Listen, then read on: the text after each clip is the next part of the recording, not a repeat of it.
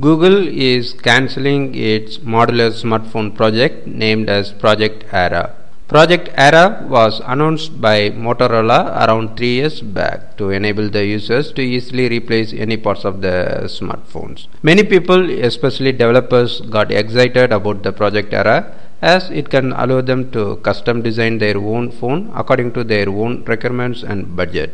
Apart from this, it can allow them to replace any repaired model and therefore it can help to reduce electronic waste. So people were eagerly waiting for the project ara, but now they are getting disappointed as Google is cancelling the project ara. Few people expected the failure of Project Ara as they believed modular phone system is not profitable considering the facts like it is bulky and the possibility of modules getting removed accidentally. Anyway, most of the people continued their expectation for the release of Project Ara as Google made positive announcements few months back at Google I/O 2016. At that meeting, Google announced that the developer version of the Project Ara will be released in the fall of this year and the consumer version will be available in 2017. A lot of developers and companies were working on developing various modules including many innovative modules for the project ara phones. So I believe someone will take steps to continue the project ara as Google is planning to license it to third party companies.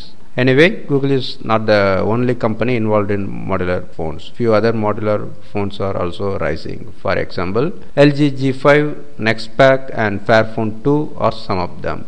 Especially Nexpaq is showing lot of interest in creating modular smartphones. Even the founder of Project Ara, Dan, is also announced to work together with Nexpaq after hearing the news about cancellation of Project Ara. Let us see whether Nexpaq can replace the Project Ara in model tech.